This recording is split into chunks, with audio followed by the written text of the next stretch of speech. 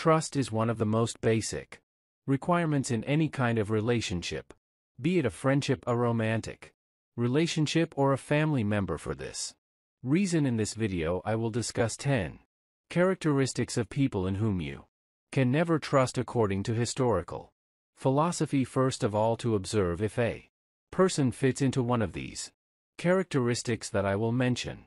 Observation is necessary however this is relatively easy just analyze the person's speech and actions to get an idea of who they are and what their essence is therefore making this clear. I will comment on each of these types of people and explain why you should not trust them before we start. Check your narcissists subscription to the channel. Watch until the end because at the end I have something special to deliver to you. Stay until the end. Let's go to the first type of person the narcissists when dealing with narcissistic people historical teachings remind us of the importance of not allowing others' behavior to affect our inner peace practicing indifference towards their egocentric actions allows us to maintain our mental peace in the midst of their vanity think about it if a person is always talking about themselves and hardly cares about others.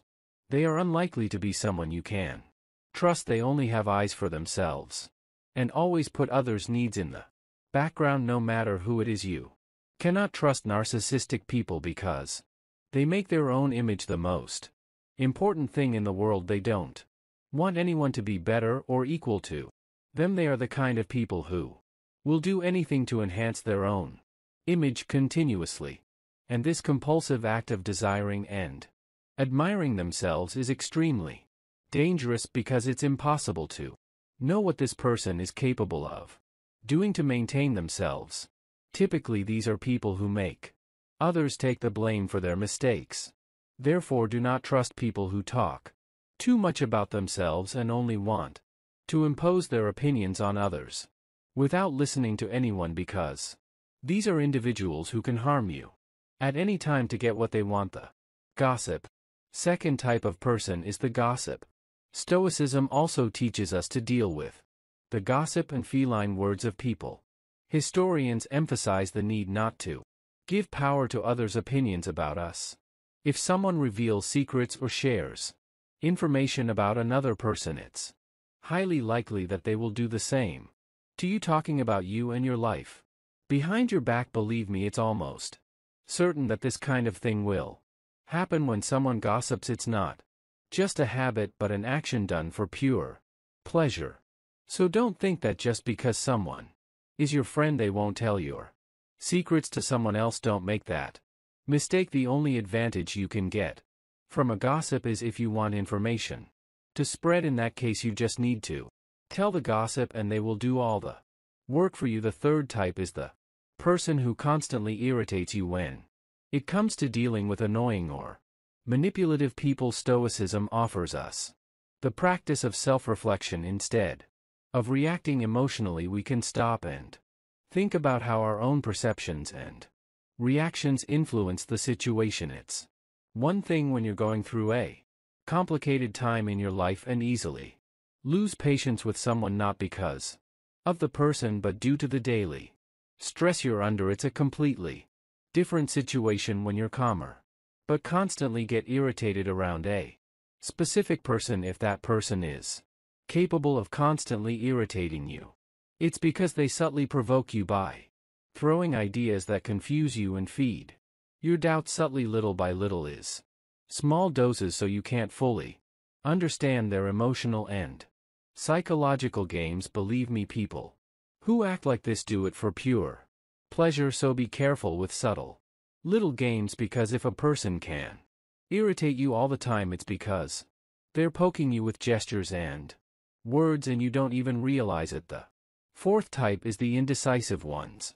Regarding indecisive people stoicism encourages us to focus on what we can control our own decisions and actions.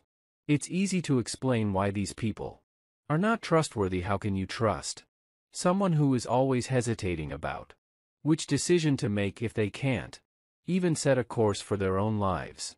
How can you trust them? They are also completely unpredictable because, as you Don't know exactly what their decisions will be since their own personality is not fully formed they are indecisive. Individuals because they don't have a strong enough personality to act and choose the path they want to follow to.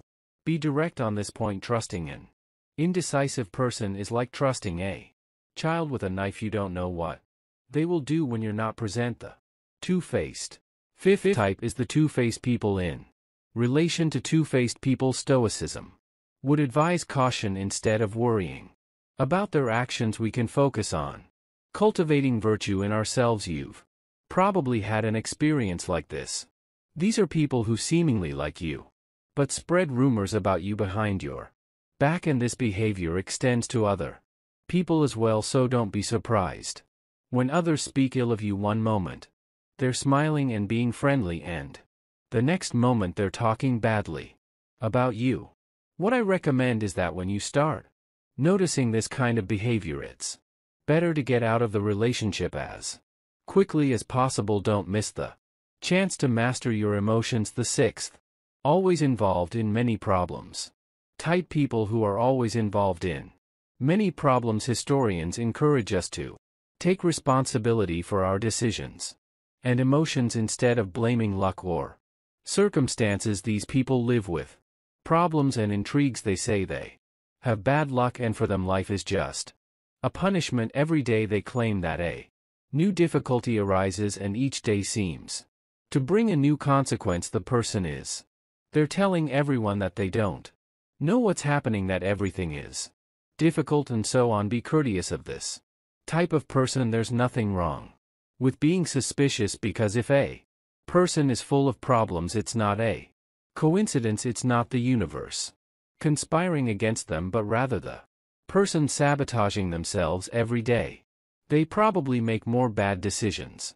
Don't learn from their mistakes and probably don't control their own emotion so I advise you to be cautious of this type of individual because if you sympathize with their sad and difficult story to the point of always wanting to help their problem can quickly become your problem. The seventh type is people who pretend to listen to what you say.